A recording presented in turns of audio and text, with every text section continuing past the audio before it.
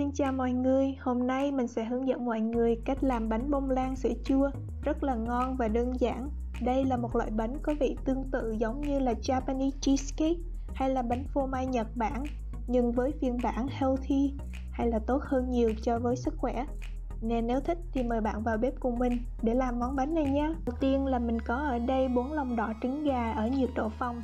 Mình sẽ quậy sơ cho trứng được tan sau đó mình sẽ cho vào đây là 40g hay là 3 muỗng canh dầu ăn. Và mình sẽ quậy đều. Và tiếp theo mình sẽ cho vào đây là 130g hay là nửa cốc sữa chua. À, hôm nay mình xài là loại sữa chua Hy Lạp.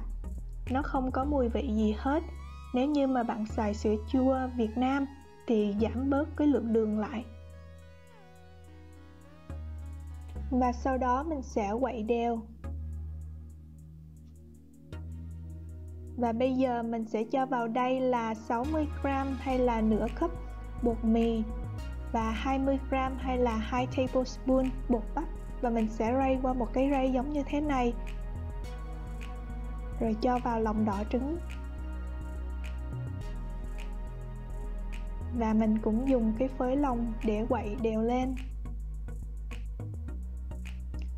Lúc này thì nó hơi đặc một chút xíu và cuối cùng thì mình sẽ cho vào đây là nửa muỗng cà phê tinh dầu vani. Bạn có thể cho nhiều vani hơn nếu như mà bạn thích cái mùi vani.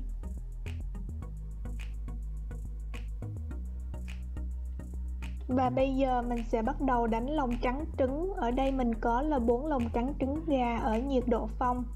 Và mình sẽ đánh bằng máy cầm tay ở chế độ thấp nhất trong vòng 30 cho tới 35 giây, cho tới khi mà lòng trắng trứng nổi bọt khí lớn.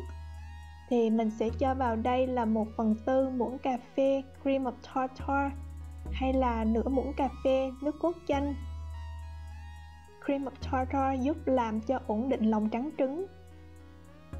Mình có thể thay thế bằng nước cốt chanh, và mình sẽ tiếp tục đánh cho tới khi mà nổi bọt khí nhỏ thì mình sẽ bắt đầu cho đường vào. Hôm nay mình xài là nửa cốc đường hay là 100g và mình sẽ chia ra làm 4 lần để cho vào lòng trắng trứng, mình cho từ từ.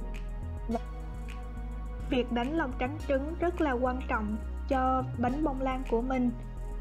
Và mình nhớ là đánh cho trứng bông từ từ, không để bông quá nhanh, thì khi nướng bánh rất là dễ bị nứt mặt và mình sẽ tiếp tục cho đường vào cho tới khi hết. Và sau đó mình sẽ tăng tốc lên và đánh cho tới khi mà lòng trắng trứng nó vừa gần đứng. Giống như thế này là được rồi. Đừng đánh bông quá. Bánh thì rất dễ bị xẹp. Sau đó mình sẽ dùng 1 phần 3 lòng trắng trứng và mình sẽ cho vào tô lòng đỏ giống như thế này. Và mình sẽ quậy đều lên lúc này mình không cần phải là ờ, dùng phới dạt để trộn lên, mình dùng phới lòng quậy giống như thế này cũng được. Và sau đó mình sẽ đổ ngược hết cái tô lòng đỏ này vào cái tô lòng trắng trứng. Và bây giờ mình sẽ dùng cái phới dạt này để trộn lên theo kiểu folding giống như thế này, cho tới khi hỗn hợp được hòa quyện vào nhau.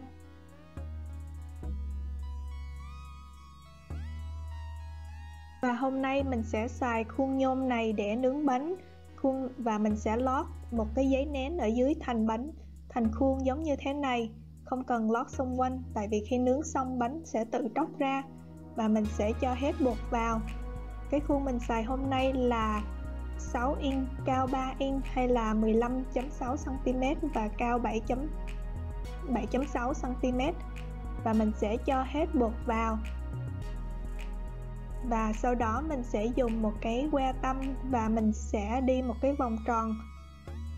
Giống như thế này để mình làm vỡ hết những cái bọt khí ra. Và mình sẽ đập xuống thành bàn mấy lần giống như thế này để cho những cái bọt khí nó được vỡ hết trước khi mà mình đem đi nướng. Nhớ là đập cho hết, vỡ hết bọt khí cho kỹ ha. Và hôm nay mình sẽ nướng cách thủy nên mình sẽ dùng một cái khuôn lớn hơn ở bên ngoài và mình sẽ cho vào đây là khoảng 3 cho tới 4 cốc nước nóng.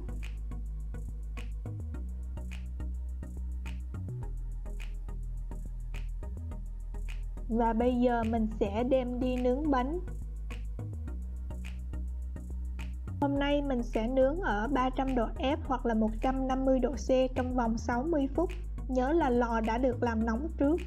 Và nếu như mà mình có cái lò nhỏ hơn thì mình có thể giảm nhiệt độ xuống còn 130 hay là 140 độ C hay là 290 độ F.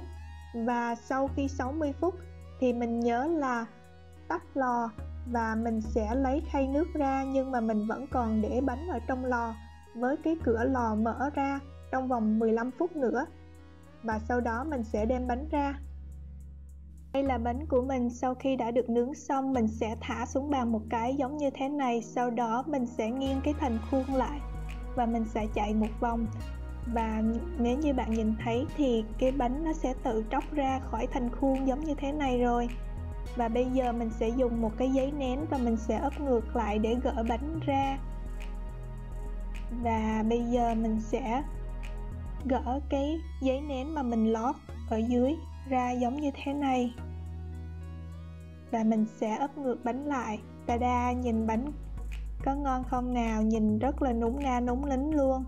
Bánh nở rất là cao không hề bị thắt eo hay bị xẹp chút nào cả và mặt bánh thì không hề bị nứt mặt. Để mình xoay một vòng cho mọi người xem ha. Bánh rất là ngon luôn. Bây giờ sau khi bánh đã nguội thì mình sẽ rắc một ít bột ca cao ở trên mặt để trang trí giống như thế này. Mình có thể dùng đường bột. Và mình sẽ rắc lên và ta-da! Merry Christmas! đó, mình mình trang trí một cái ít ít chữ có Giáng sinh vui vẻ giống như thế này.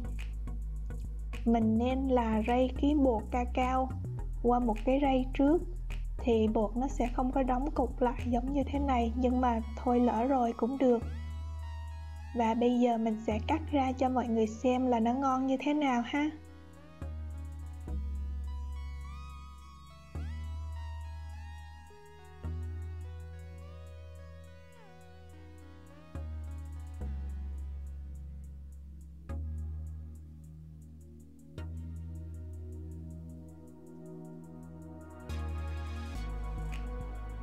Bánh này rất là mềm. Mềm lắm luôn. Núng na núng nín ngon lắm. À, nhìn có hấp dẫn không nào? Bây giờ thì mình sẽ ăn thử thôi. Wow bánh nó rất là ngon không quá ngọt. Có vị chua nhẹ của sữa chua hy lạp. Mọi người nên thử nha. Chúc mọi người thành công với công thức này của mình và đừng quên là đăng ký, subscribe cho channel của mình. Cảm ơn mọi người rất nhiều. Bye mọi người.